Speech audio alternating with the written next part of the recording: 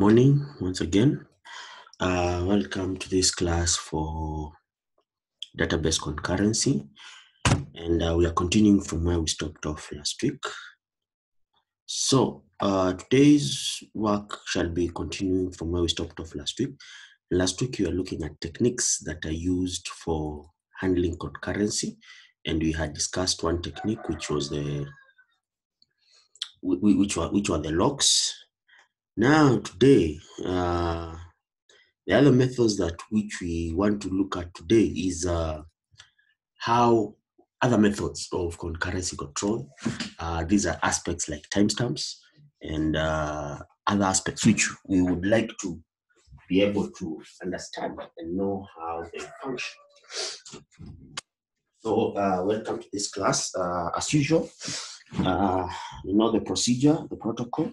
I'll upload the notes on the I'll upload the notes on YouTube and then I will uh, basically give you uh, the link to where you can be able to to, to, to, to link where you can be able to look at uh, uh, to, to, to get to get to get them uh, there and also share notes on these aspects of uh, locking and uh, also the other thing which we are going to look at today. So that's what we intended to do today. So it's basically a continuation of uh, where we had left the last time. Mm, yeah. So basically we are looking at uh, methods just a continuation of methods used to implement currency control.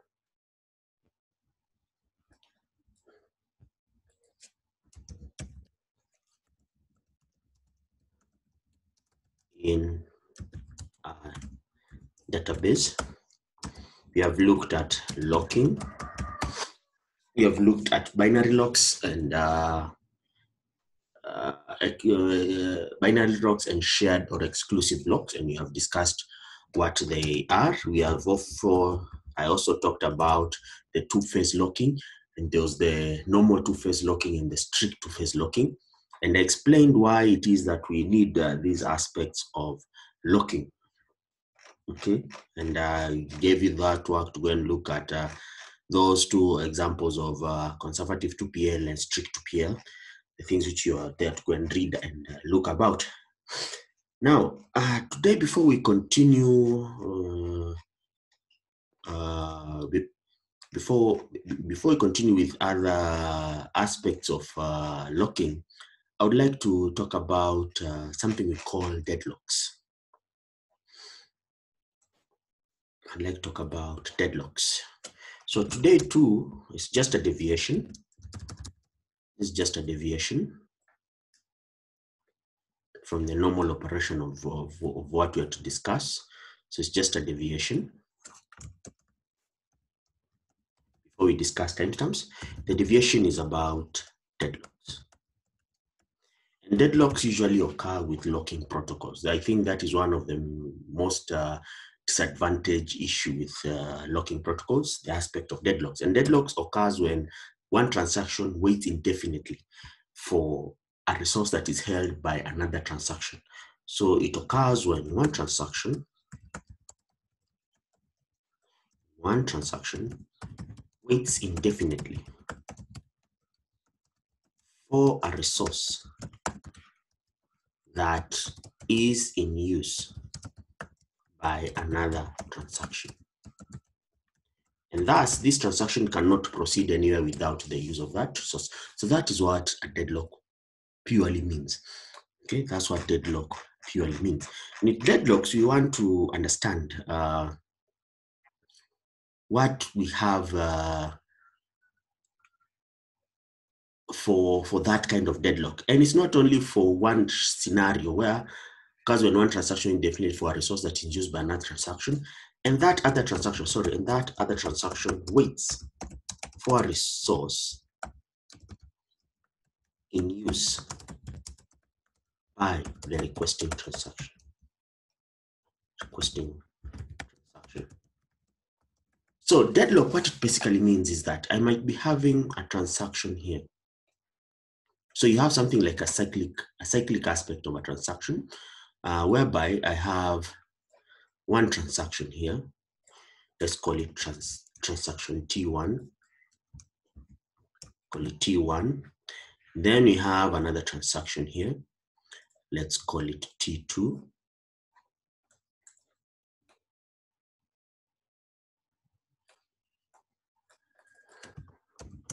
T2. And now the problem is that T1 waits for this resource. T1 has a resource which T2 needs, and T2 needs a resource which T1 has. So we have a sort of something we call cyclic,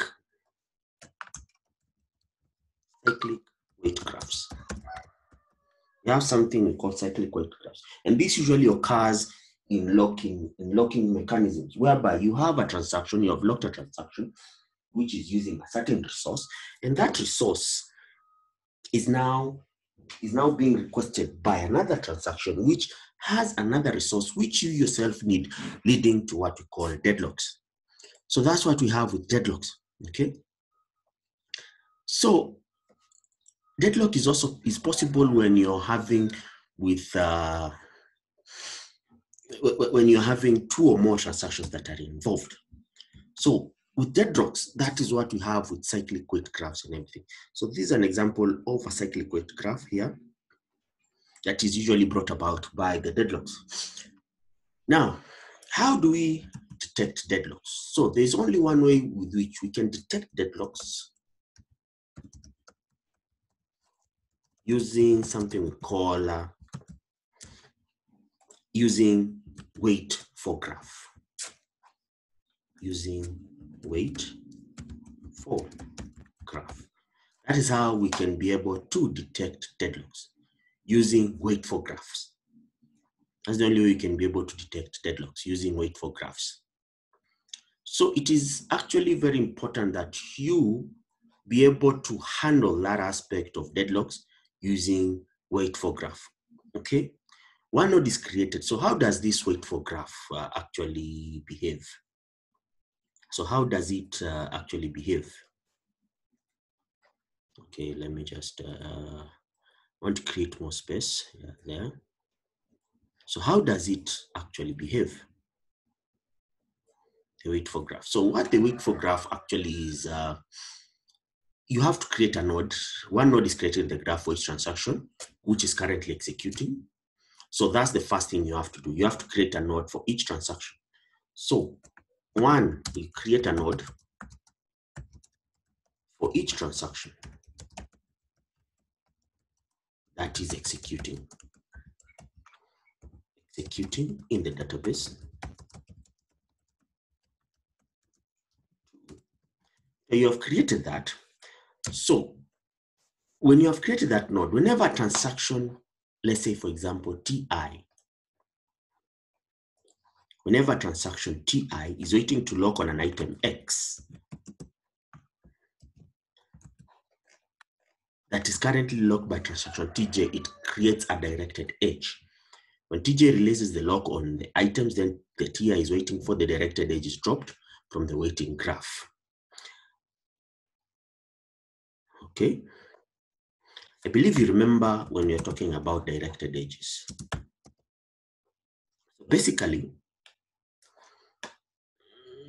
okay, let me just put this one here. Basically, uh, let's say, let's take, for example, these two graphs which I had here. I had these two objects here, T1 and T2. So what it basically means is that T1 is a node, T2 is another node. And now um, these two transactions are executing. So what it means is that in the first scenario is that T1 uh, has a resource which T2 needs to which T2 needs to operate. So meaning that whenever transaction, let's say T1 is waiting to lock an item X that is currently locked by transaction T2, it creates a directed edge. Now, this is what you call a directed edge. A directed edge is just a path linking two different nodes in a graph. Remember graph graphs from your data structures and algorithm. We remember we had directed edges and non-directed edges, but this one here is means it's a directed edge. Meaning with this directed edges means that T1 is waiting to transact on a resource that is held by T2. So it means that T2 has to finish up with that resource so that T1 can be able to transact. So what it means is that when T2 now releases the, the, the what, the, when it releases the, the, the, the item that is working on, then the edge is dropped. So meaning that now the transaction, this one, this one has finished transacting. Now, I mean, this one, T1 has finished transacting, so T2 is continuing transacting. We only have a problem if T1 is waiting for a resource from T2 and T2 is waiting for a resource from T1. And that's why I was giving that example whereby we have cyclic wait graphs. So one way to detect deadlocks is using wait graphs. But when we're having cyclic, a cyclic wait graphs, then we have an issue whereby we must kill one of those transactions. And it's a really big issue when it comes to concurrency control, whereby you have to deny execution of a node or of a transaction because of a cyclic wait graph. Okay, so we have a state of a deadlock if and only if the wait graph has a cycle. And remember, that is what we have here, cyclic wait graphs. That's why I said this is what is called a cyclic wait graph. So we only have a state of a deadlock if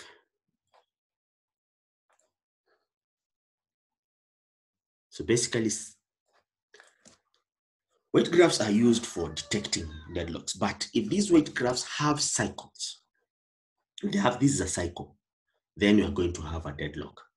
Okay, we are going to have a deadlock. And deadlock, I said, is whereby you waiting for a resource that is in use by another transaction, and that transaction is waiting for you to currently finish up on another on another resource, which you yourself you're also using up at that particular moment. So locking protocols. So we usually have those, those examples, okay? The wait for, okay? The wait for graph. So this is what is called cyclic wait graphs, wait for graphs, okay? Now, uh, one problem with, so as I say, this is one, this is one method of uh, detecting deadlocks using wait for graphs. But as I said, one problem with wait for graphs, we may have cyclic wait graphs. It's a very good aspect whereby you create directed edges so that if this transaction needs this, if this transaction needs a resource held by T1, then it will have to wait for T1 to finish, and then it, it takes the it takes the resource and then it drops the edge. We have a problem if we have cycles in that in that graph. That's why we're having a problem with cyclic wait graphs. Now, one problem, another problem with using the wait for graph for deadlock detection is the matter of determining when the system should check for deadlock. So that is another problem. So another problem is this.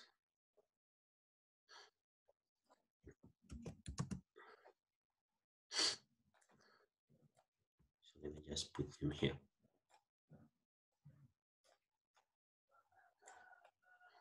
So that's a problem which you or using this system will usually result in. Okay, let me just try and uh, lengthen this. Uh,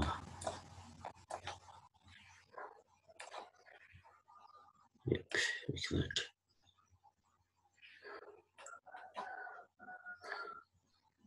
So one problem of using the wait for graph. Okay, let me just try and uh, put this thing here. So deadlocks you have this here. So let me just move this.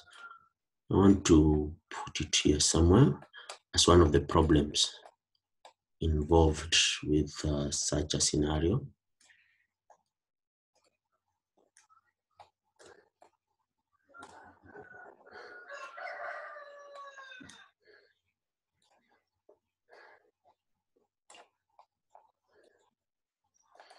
Okay, okay, okay, okay, okay, okay, okay, yeah.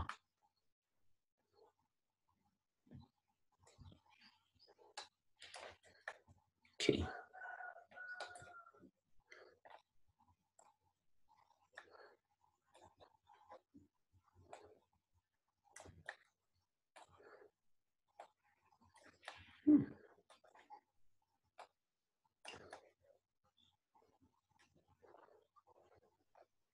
So, not one problem. Another problem.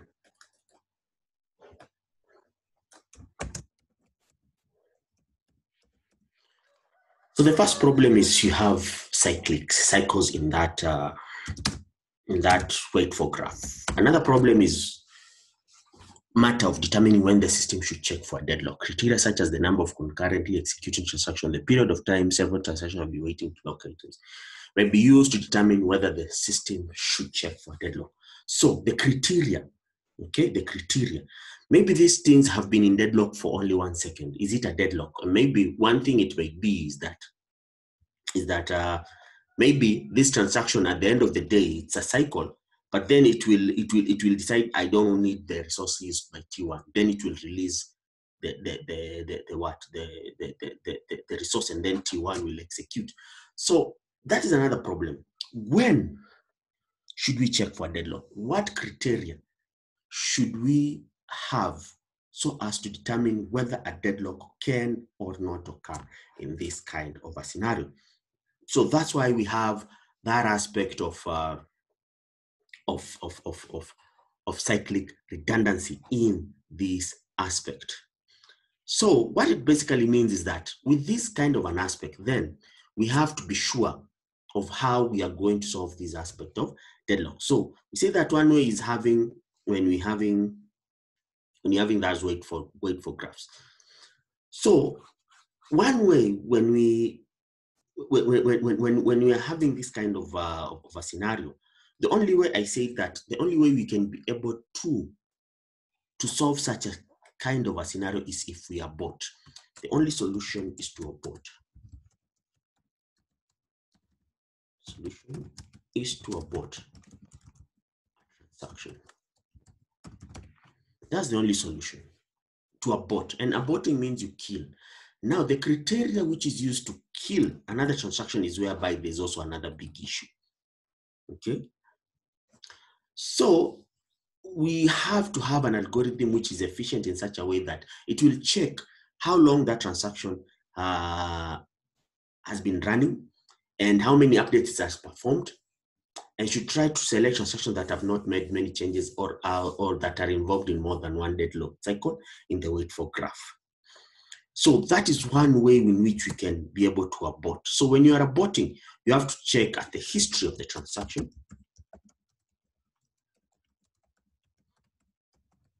priority, the updates made. The updates what? Made. That is what we have with this thing. Okay? So you have to check the history. You have to check uh, the, the, the, the, the priority. Is, is, is, this, is this a priority transaction? And the updates made. Because if T2 has made several updates, then we cannot ab abort T2. We only have to abort T1 because T1 maybe has started operating at that time.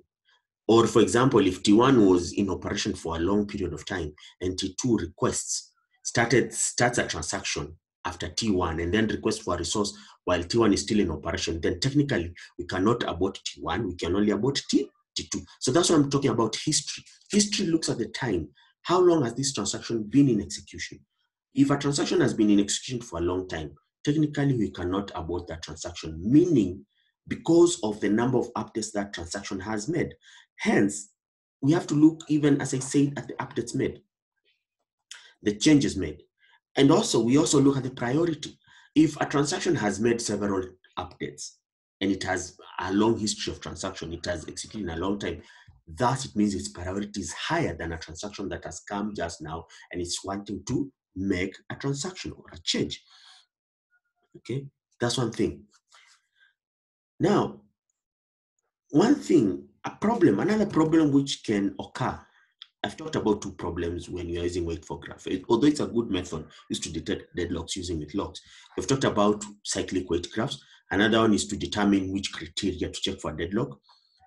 Another problem would be if when you are aborting this transaction, and then only to restart it for it to enter into another deadlock. That is what we call a cyclic. Uh, we, we, we call we, we, we call it a cyclic restart. So another problem here, which can be, which is of a very bad thing, something we call cyclic restart. Cyclic restart is whereby you restart a transaction, you abort a transaction, and restart it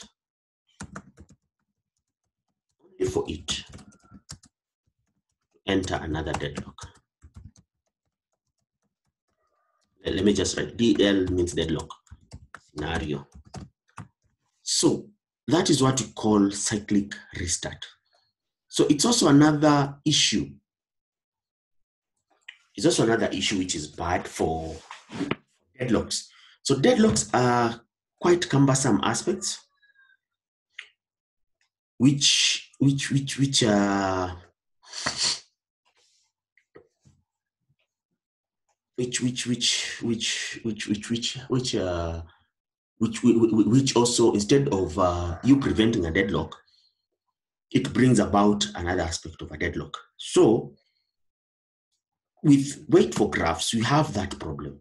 We have cyclic restart. And I said locking protocols, deviation at are deadlocks. And the one way we can do it is having what we call wait for graphs.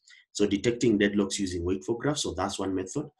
And I've said that with wait for graphs, you create a node for each transaction executing in the database. When a transaction is waiting to lock on an item X that is currently locked by transaction TJ, it creates a directed edge, like the ones which I've shown here.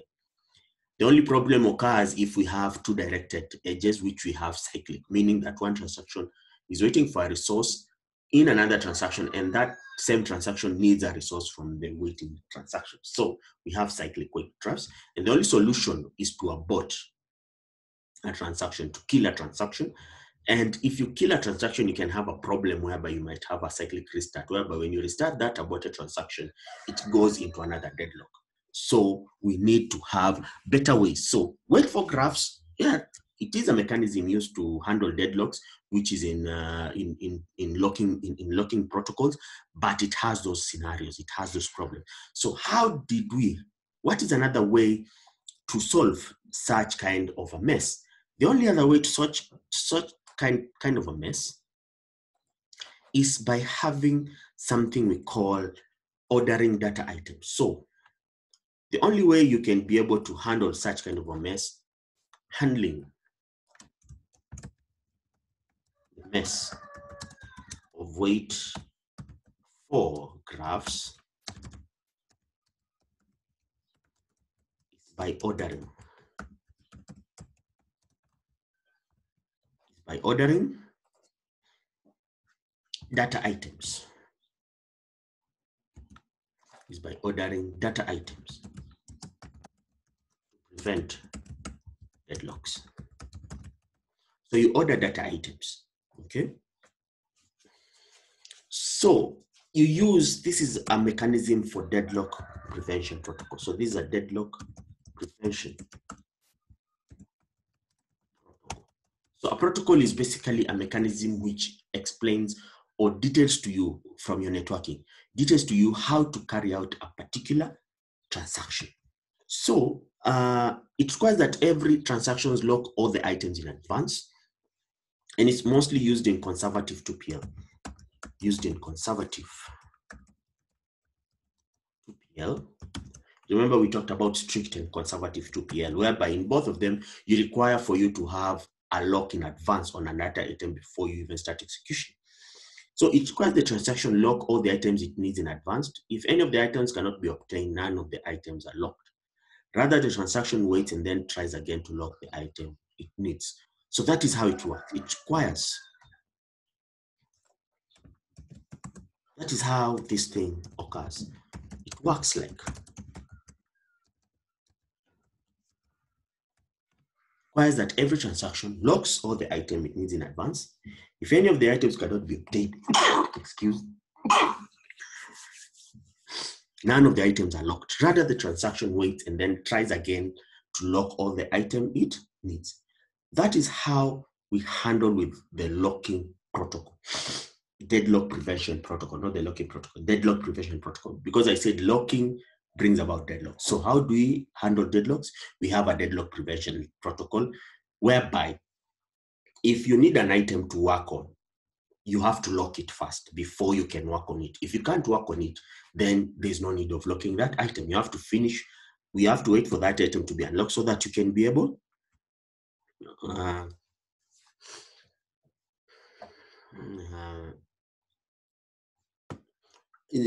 so, so, so, so that you can be able to handle that aspect of, uh, of, of ensuring there's no, there's no what, there's no deadlocks. But now this one had an issue. This, this led to non-concurrency.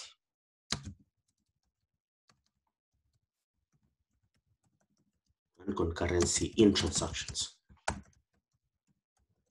What do I mean?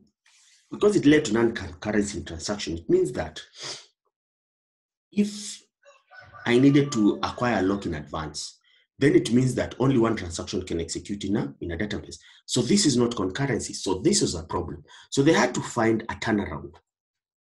So they had to find a turnaround. The above. Had to find a turnaround to the above, and the there was a second protocol uh, which also limits concurrency, though to a lesser extent, and it involves ordering all data items in a database and making sure that a transaction needs several items. We lock them according to an order. Okay, so that was the second way. So you order all the data items in a database and ensure that several items we lock them according to an ascending order. So that was one way in which you could avoid the other one. The other one, there was no aspect of uh, ordering. So the other one, there was no aspect of ordering. So meaning that if it locked, it locked. So a turnaround to the above was ordering all the data items in the database and making sure that a transaction, just put it down here so that you are not, here. So the first one had that turnaround, it had that issue. So it had the issue of not having concurrency. But now we used to have another one whereby you had an ordering protocol. Okay, so you need to have an ordering protocol. That's the thing you need to have. Here we just have a deadlock prevention protocol. But now here in the deadlock prevention protocol, you add another ordering protocol. And this ordering protocol will order we'll make sure that transaction uh, we will order all the data items in the database, making them sure that a transaction that needs several items, we lock them according to that order. Let's say in ascending order. If I need a data item, I will lock them in terms of the priority I need that data item. So if it's of higher priority, I put it in slot one. If it's of lesser priority, I put it in slot n. Because in most cases, you can have whatever I need as a priority is not a priority in another transaction which is using it. So that was one way in which we could be able to handle that aspect of uh, of uh, of what of, uh, of, of of having deadlock. So that's one way having deadlock prevention protocol, and you need an item needs to lock that item before it works. It had an issue with concurrency, then they came up about with improving that deadlock prevention protocol by ordering and by having an ordering protocol inside it, whereby transactions needed to transactions needed to to order items in either ascending or descending order, so that they can be able to access those aspects. Now, another thing, uh, another another mechanism another protocol, another mechanism which was used for deadlock detection. If I may just uh, put,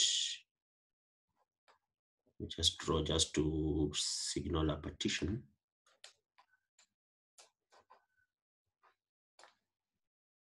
No. Nope.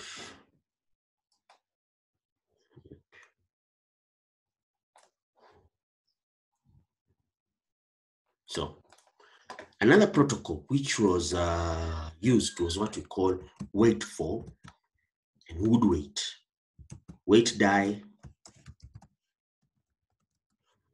Hmm. wait die, and something we call wound wait deadlock prevention.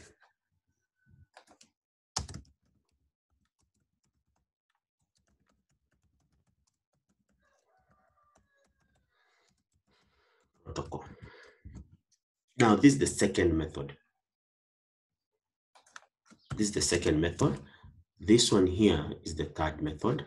We no, no, no, no, no, no, no. This one is the second. This is the second. This is the third. And the other one which we had discussed, the cyclic, uh, the, the wait for graph, that was the first method of handling deadlocks. So we have deadlock prevention method, then we have wait die and wound wait deadlock prevention method. Now this one was uh, was quite uh, was quite uh, aspect was was was quite uh, was, was was quite improved, and this one this product this used these uh, used the aspect of timestamps. Now we are talking about timestamps. These used the aspect of timestamps. These use the aspect of timestamps to order order transactions in database. Order transactions in a database. Okay. So the, there are two schemes, the wait die and wound wait deadlock prevention protocols, and both of them used timestamps. Okay. So what it means is that there are some rules which are required there are rules which are required. And the first rule was the timestamp ordering. So there are rules required.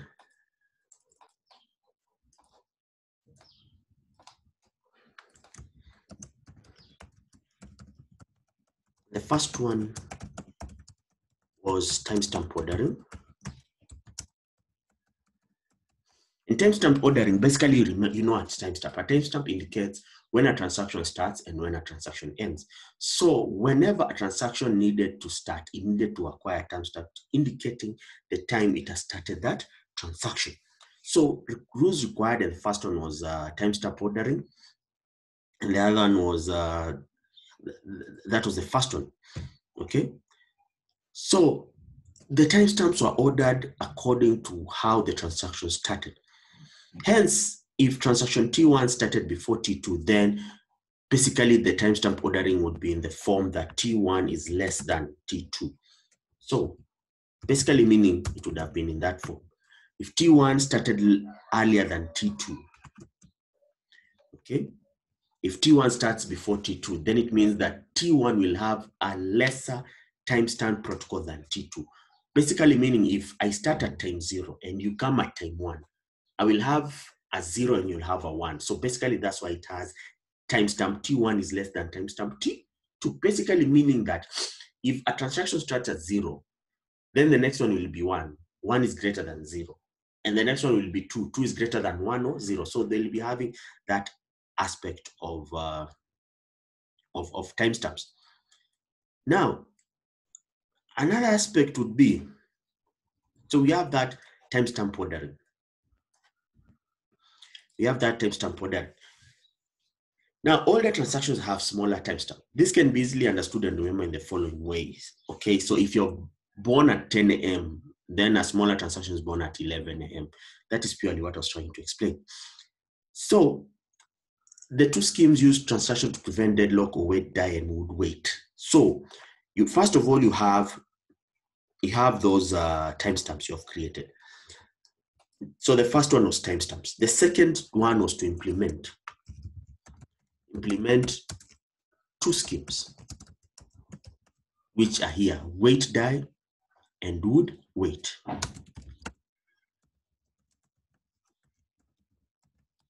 You implement either of them. So what is wait die? So wait die is uh, if TS, if you have two transactions, and all of the transaction is older than the other one, then the, the older transaction is allowed to wait, otherwise it is aborted and it's restarted later with the same timestamp, wait, die. So meaning that you abort older transactions. Okay, you abort older transaction. In which die, you abort older transaction. In wound wait, you abort newer transactions. Okay. So what does that, that basically means? So here, wound wait, if I was to put it in simpler terms,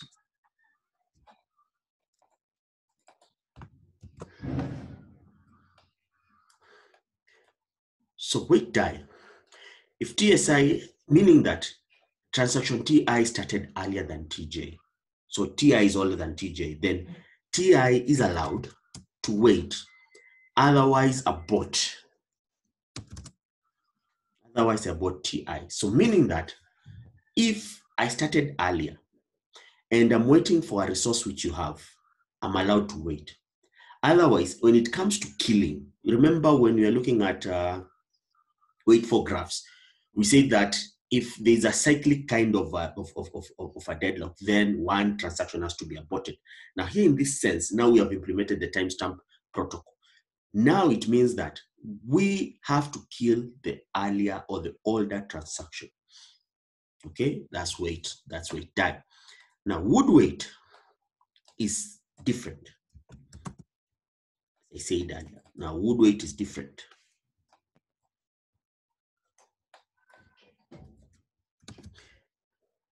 Now, wound wait, uh, still the same scenario. TI is older than TJ. Then abort TJ and restart it later with the same what? Timestamp. Otherwise, TI is allowed to wait.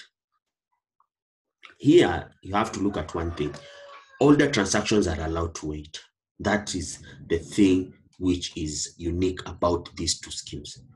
And I say they require the use of timestamps. And remember, when you are talking about uh, about about wait for graphs. And remember, all of these are implemented in wait for graphs. We're just improving the wait for graphs. Okay. So we're improving the wait for graphs, and one way I've seen is to have a deadlock prevention protocol. Second one is to have an ordering uh, protocol. Third one is to have wait die and wound wait deadlock prevention protocol. So we're adding this protocol to the wait for graphs. So what it basically means is that if you have an if you have an older timestamp, you are allowed to wait. That is unique. And remember, I said that when you are aborting, you look at the history. And remember, I said that all the transactions are never aborted. Remember, that's what I said. All the transactions are never aborted because these transactions must have done a lot of updates, so you cannot abort them. You cannot abort them. The only transaction which are aborted are newer transactions, and that is what we see in both of these schemes: wait, die, and wound wait. TI is allowed to wait, but in wait, die, you can abort TI and start it later with the same what timestamp. Meaning when you restart it later with the same timestamp, it is given a higher priority. Now wound wait, you abort TI, I mean TJ, you abort TJ and restart it later with the same timestamp. Otherwise TI is allowed to wait. So here you have that aspect whereby in both scenarios, TI is allowed to wait. And in both scenarios, only in one scenario is where you can abort TI, but it's not recommended. But in both scenarios, in both scenarios, TJ, the newer transaction can never wait. It will have to be aborted. So we have that uh, that uh, that thing.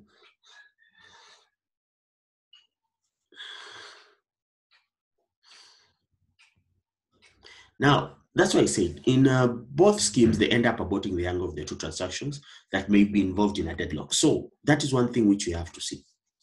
Otherwise, about TI. Here, TI in both of them, T, the older transaction is never aborted. Remember, I said that. So meaning that even in wait die, TJ at the end of the day will be aborted. That's one thing you have to remember. At the end of the day, TJ may be aborted. Okay.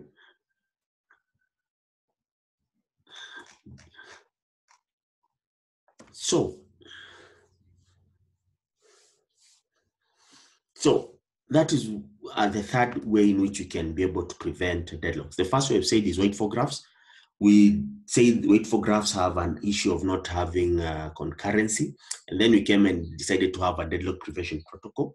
And then we came and had an ordering protocol. And then we came and did a wait deadlock prevention protocol.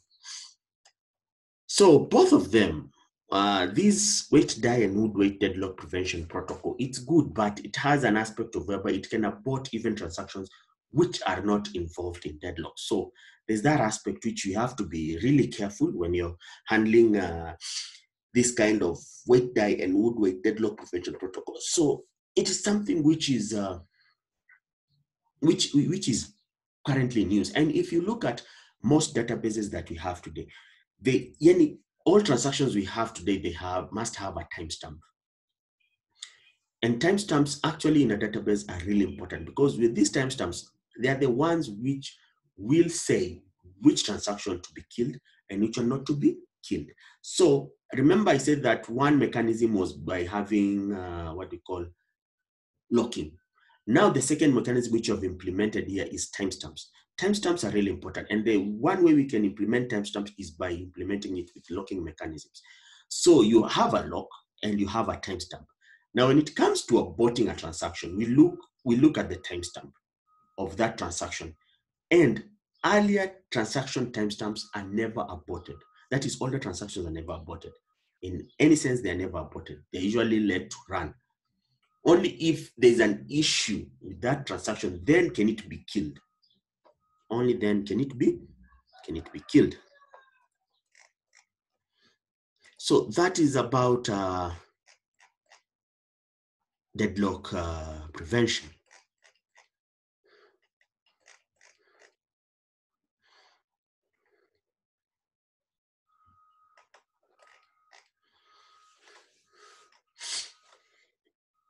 Now, uh, there was another aspect uh, because I've started talking about timestamp ordering. Timestamp, as I said, is one of the mechanism which is implemented. Here we have seen timestamp implemented with uh, deadlock prevention. So it is it, it, it, it is it, it, it is a really good mechanism that is usually used for handling uh, for handling for handling uh, deadlocks and all the other mechanisms that can uh, come with with with the issues that it may be bringing about. Now okay. Another thing which i want to talk about. Mm we have talked about deadlocks we have talked about uh, timestamp lock-based binary two-phase locking, strict two-phase locking. Now, timestamp-based protocols.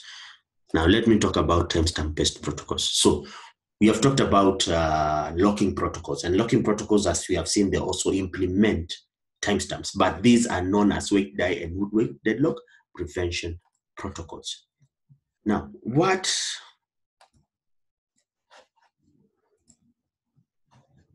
is the timestamp ordering protocol.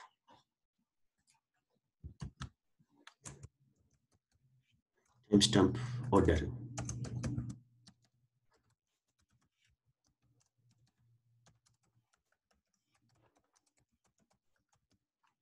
Timestamp ordering protocol. Okay, timestamp ordering protocol. So Timestamp ordering protocol is whereby you order transactions according to their timestamp and usually have a schedule. Okay? And this schedule must be serializable. Meaning, if it's serializable, meaning that transactions must follow one another. So that's why we have the aspect of uh, of timestamp ordering. Okay. Now we have what we call the timestamp ordering schedule or TO or the equivalent serial schedule. And this TO is the mechanism which is implemented in a concurrent database to order transactions according to their to their timestamps. Okay. Now, one thing we have with two-phase locking is that with two-phase locking, there's no aspect of timestamp ordering. Okay, there's no time, there's no aspect of ordering a transaction. It's when you come there, you lock an, an item and then you go around with it. But with the timestamp ordering protocol, it means that there has to be a serializable schedule which is followed. They must have an order. Okay, they must have an order. Now, when you're having an order, it means that if I come earlier, I'm allowed to lock any data item before a younger transaction comes. Okay. So we have the timestamp ordering protocol. So timestamp ordering protocol ensures serializability among transactions in their conflicting read and write operations. So timestamp is basically there to handle uh, serializability in transactions. Serializability in transaction operations. Basically, read and write operations. Read and write operations. So basically what it means is that, uh, so what it basically means is that the timestamp ordering will have a different timestamp for read and it will have a different timestamp for write. So, so the TO algorithm associates with each other items two timestamp values. So that's what it does. So the TO algorithm, TO means the timestamp ordering algorithm.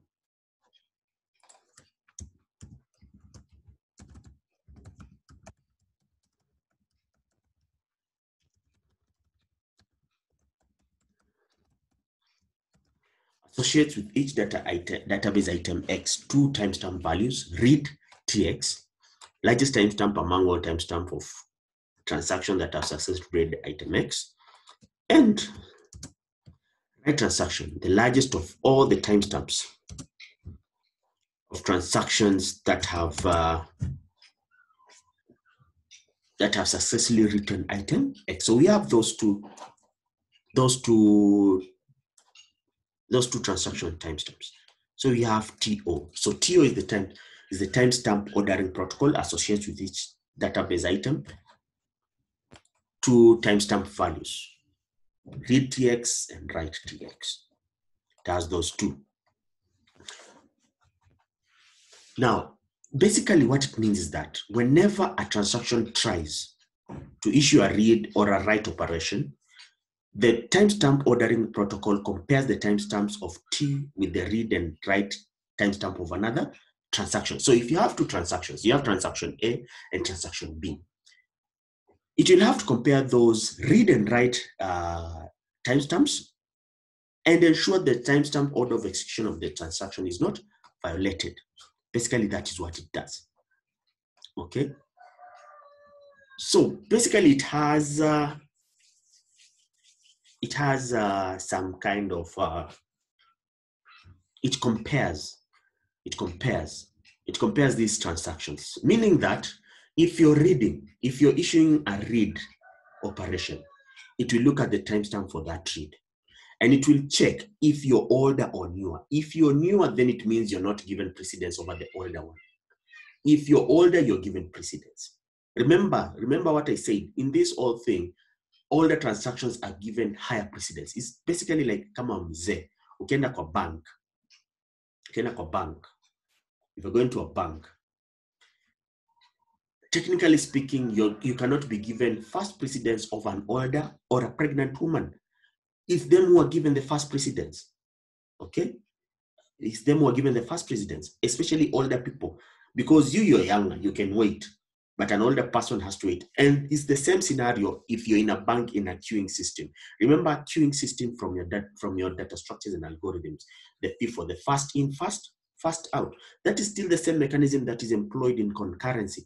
If I issued a write operation, the first one, why would I come and be killed for you to create an operation after you have done that thing? So it has to compare. So we have these two kinds of scenarios. So you have these two kinds of scenarios. If transaction Ti, so we have the first scenario. Transaction Ti issues a read operation, and the first one is this. So this is the first scenario. If transaction Ti issues a read X operation, that is timestamp Ty is less than the timestamp for X, then we reject.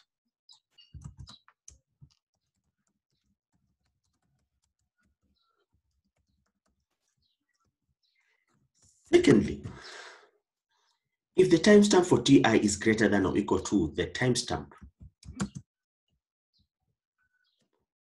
then it's executed.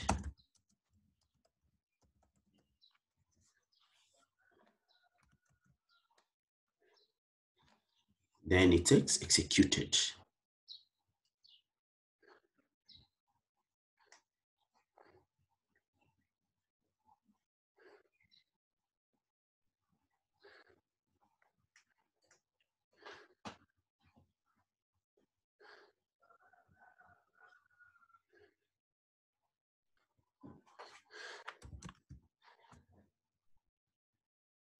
Now there's something here.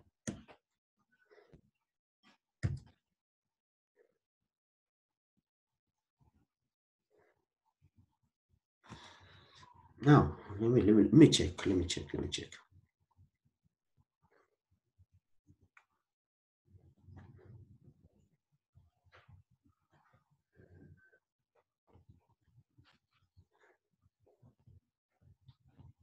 Okay.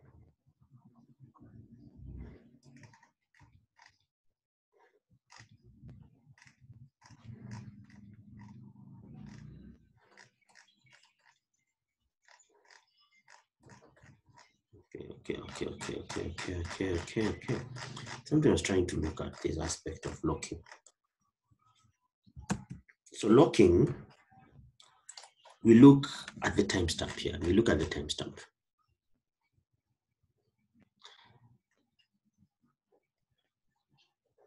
Transaction TI issues a read X operation. TI is less than timestamp X. Then a write operation. Okay. Write timestamp if a transaction issues a read. Oh, okay, okay, okay, okay, okay, okay, okay, okay. Okay, okay, okay. It's greater than. It's greater than than a timestamp. Oh, this one. Yeah.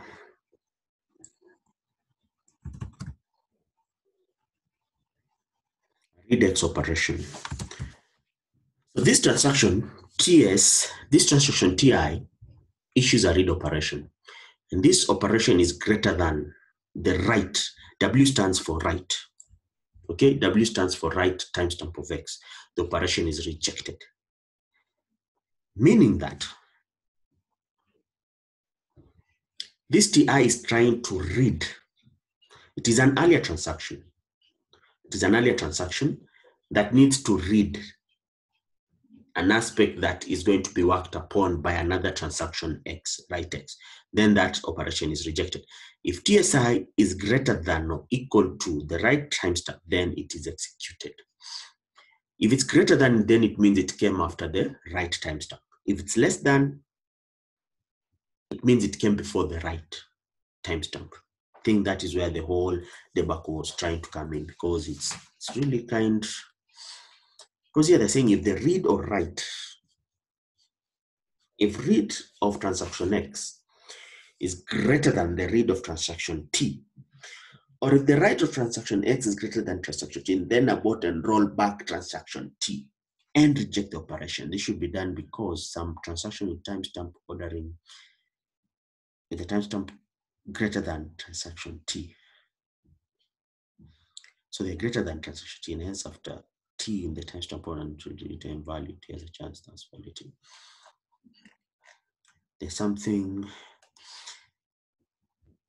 if T, if X is greater than T, then roll back T and reject the operation. I'll try, no, there's something, because here what I know is that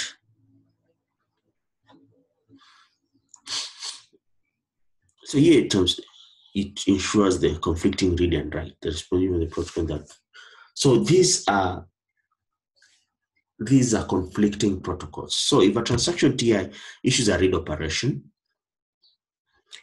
that read operation is less than the timestamp of X, then we operate. Oh, uh, yeah, true. It's true.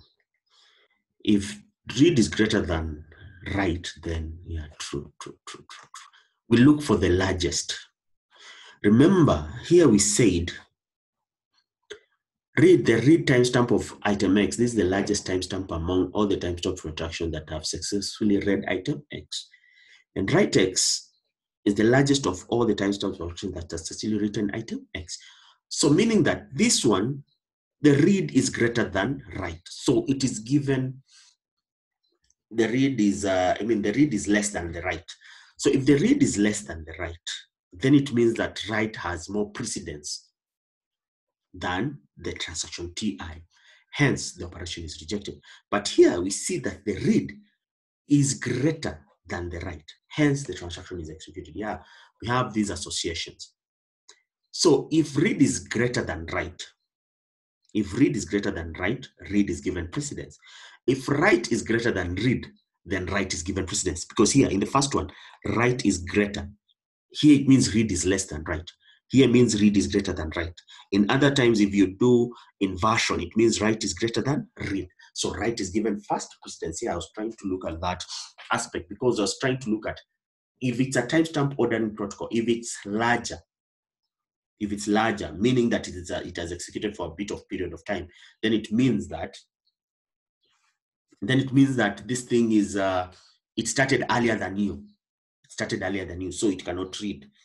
So that's why operation is rejected. So this one less than it means that this one started earlier. True. write started earlier than the read. Hence the operation is rejected. This one means the read started earlier than the write. It is just about the Boolean inversion. You know, Boolean inversion, sometimes it can really confuse you, the logic. Which one is greater? Because if A is less than B, if A is less than B, then inversely means B is greater than A. So it's about playing around with those aspects. So this is the timestamp ordering protocol that you're having. Okay. Now, if the second scenario is if a transaction TI issues a write operation. If a T transaction TI issues a write operation, then this scenario. Uh, no. Uh, what, what do I do? Okay.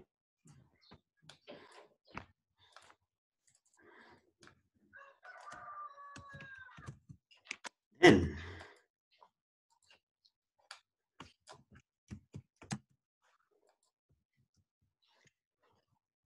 first one.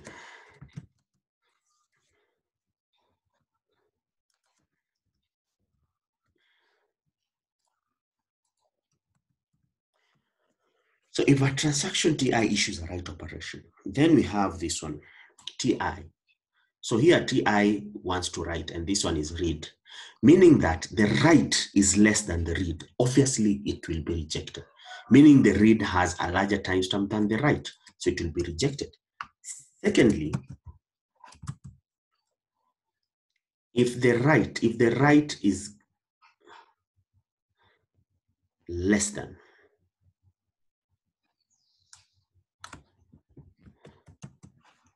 you have this second option.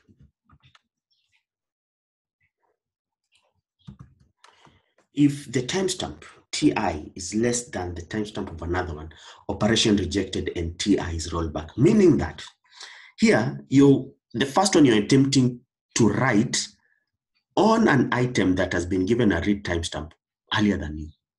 And the second one, you're trying to write on an item that has been given an earlier time than you. Then it will be rejected. But thirdly, if yours is greater, third one is if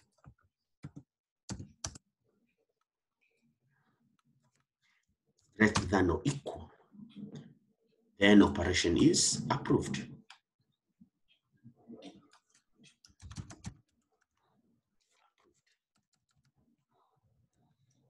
I think those are the two major aspects which we have to look at because we have read and write.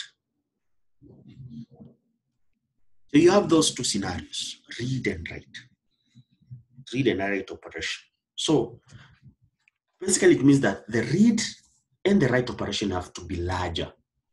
So larger timestamps are given higher precedence than uh, than, than, than lower timestamps. Okay, larger timestamps are given precedence than lower timestamps.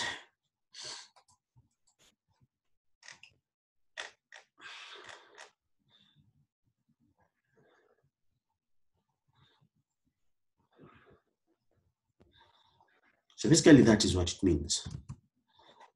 Okay, let me just confirm something.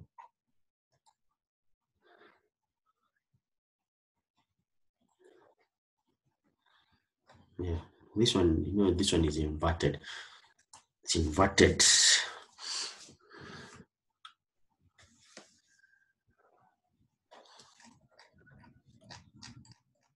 So that is the that is the time the timestamp uh,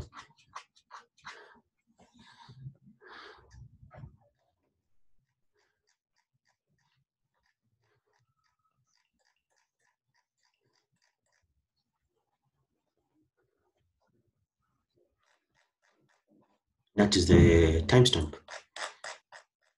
of uh, that is the timestamp ordering protocol which is implemented in uh, what do you call implemented in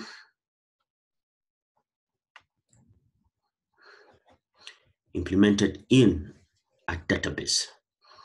So uh, that is what i wanted us to discuss today. And uh, I believe that uh, we, we, we, we have uh, discussed a few of aspects here and there, which I believe you will be able to get them and uh, be able to understand. Now, I have some work. In that PDF for chapter 13 I gave you, there's an aspect which we call granularity of data items.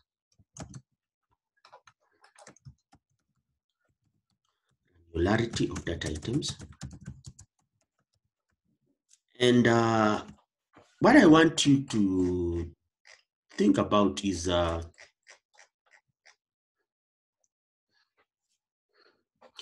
how does the granularity of data items affect the performance of concurrency control? So in terms of this, I want you to read that, and then you answer this question, which I believe we shall, I shall, I shall start off from there next week. How does the granularity of data items affect the performance of concurrency control? What factors affect the selection of, granularity size for data items? So I believe next week, uh, I think I'll be, we'll be having a live session. This is the first thing we shall, I shall need to discuss. You shall need to tell me. And actually, I think, actually, I think I'll give it just like an assignment. I'll give it just like an assignment so that uh, it can be quite clear and uh, easy for those people, easy for us to look at. And then I would also like you to go and read on multiversion.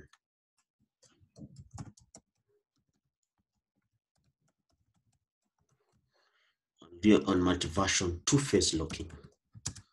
That's another variation of 2PL So I'd like you to go and read on that. It's still in that PDF which I'd given to you. And that PDF was specifically talking about concurrency control and how we can be able to manage concurrency control, and which I believe for today we have finished about concurrency control. So uh, these two aspects, they are really important, my dear students.